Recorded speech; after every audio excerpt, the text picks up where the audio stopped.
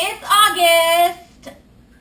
Today I will be cooking grilled eggplant with fresh hot sauce and crispy egg. I had to make something, right?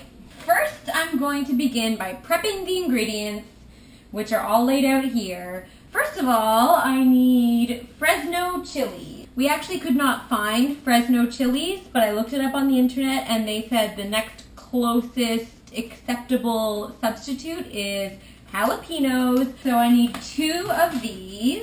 These vary greatly in sizes. Which one, what are we talking about here? I guess I'm gonna choose like two medium sized ones. Eh? We need a garlic clove because let's face it, I will never make a recipe without garlic apparently. Gah. Why? Why? Oh my gosh, this is making the most mess. So that's gonna probably start a fire later. Four Japanese eggplant. Ugh, this thing. Oh, it wants me to have four and that's exactly how many were in this package. So, four. Three scallions. I don't like this one. Three cilantro and dill and egg. So I need like a choppity chop chop. Okay, the bounty has been washed. Time for some choppa choppas. I have to say, the thing I made last month was amazing. So if you haven't seen that video yet, go watch it and then make what I made for yourself because it was friggin' great. So now we're moving on to the eggplant, which are supposed to be halved lengthwise. So I'm just going to cut off his hat. That's an eggplant inside. And then for the scallions, we're supposed to be thinly slicing them. That sounds like a lot of work. Okay, onions. Gonna throw all the garbage over here. We also have to deal with the garlic, which was one clove finely chopped, as always. Check out all this prep work I'm doing in advance, cause I'm great at cooking and I don't want to end up with a ton of stuff to do at the last second. That looks fine enough to me. We need two cups of cilantro and a quarter cup of dill. Everybody out. So we've got some cilantro. Oh my god, this is not cilantro. This is parsley. Um,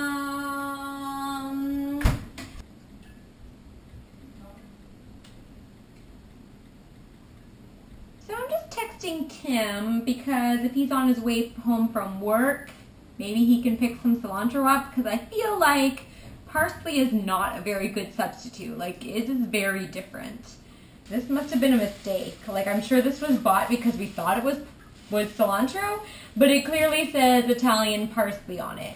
So, while that hopefully gets dealt with, I'm going to deal with this dill situation. it smells like pickles or chips. A quarter cup chopped fresh dill. So this already looks like a lot.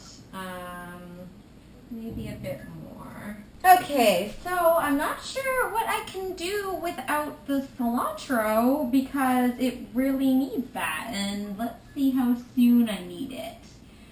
Oh, remaining cilantro. Where was the first cilantro? I don't need the cilantro until later, so dare I get things started and then hope that the cilantro shows up in time? We're gonna do it fast and loose and we're gonna just go for it, I guess. We're supposed to have a grill pan, which we certainly do not have. My old friend, regular pan. Heat it over medium. We're tossing the chilies, garlic, and a pinch of salt into a bowl. That was a text. Let's see what happens. So Tim saying that it said that it could be parsley, but it definitely did not say that. So we're we're gonna see how this little bit of mayhem turns out. Back to the bowl, tossing in the chilies. Hangy sleeves, not smart for cooking time. Garlic, large pinch of salt.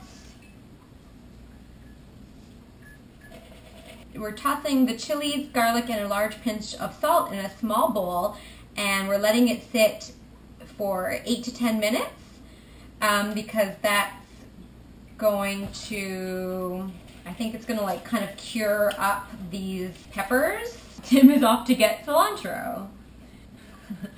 so we'll see how this turns out.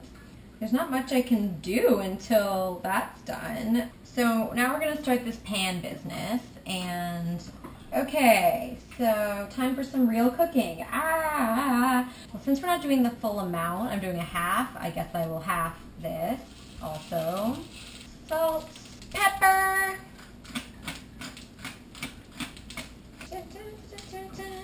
So I drizzled them with oil, seasoned with salt and pepper, and I'm going to grill, turning occasionally until lightly charred and tender, which could be six to eight minutes.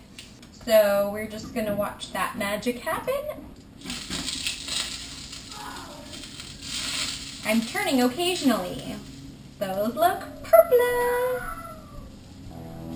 Cooking in the kitchen, cooking and doing it right. Oh yeah, eggs. There's some crazy thing with eggs that's gonna happen. I really do love eggplant. I love eggplant parmesan. I love eggplant in ratatouille. I love moussaka. All wonderful examples of dishes that feature the eggplant. Now to include this one. I just love how stewy they get and how well they absorb other flavors. Okay, so these are looking pretty well done, I'd say. So I'm just going to ah, remove these, get them onto the cutting board, and then while I'm going to chop those, I'm going to also get the next ones going. So those can start to deliciousify, and while that happens, I'm going to chop up the first eggplants that we did. So we're supposed to be cutting them on the diagonal in large slices and then tossing them into this bowl. Ah! So the problem is that they are friggin' hot. They do look good though. Um, so now I can add the rest of the, this is actually going to be the hot sauce with um, the, the peppers in there. So I'm going to continue what we're doing with that. Two tablespoons of red wine vinegar are going into the sauce. One tablespoon of honey. So it's going to be like a spicy sweet sauce, which sounds great. So I'm going to get these chopped up. So things seem to be in good shape. We have cooked the eggplant and it smells delish and it's in the bowl. The sauce is saucing. Now is kind of when we need the cilantro, so it would be great if cilantro showed up soon. So we're going to toss the eggplant in a large bowl with the scallions and half of the hot sauce and the cilantro and dill. I kind of don't want to toss in the other ingredients with the eggplant right now because the eggplant is hot. Who cares, right? Maybe I'll just start. So that's scallions. Um, half of the hot sauce is going in here. Um, I don't know if I would really call it like a sauce. It's definitely more watery than that. So I'm gonna throw the dill in there and now we wait for the cilantro to show up. Whew, so it smells and looks amazing. Really we just need the cilantro in there and then we'll be talking business. So anytime now, Tim, anytime. In the meantime, hands, handstands? Can you just be like, cilantro delivery? Cilantro delivery. Yay, we can continue. So now we have the real stuff, so everything can continue and not be ruined.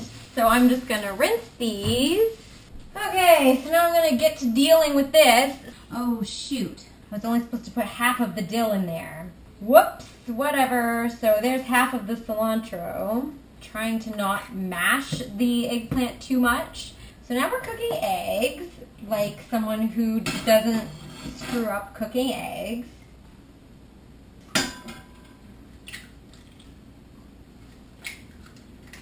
Salt and pepper. Okay, so we're just gonna let those become eggs. We want the edges to be uh, golden and crisp. And then we're going to flip them. So I need a flipper. Okay, I'd say we're about ready.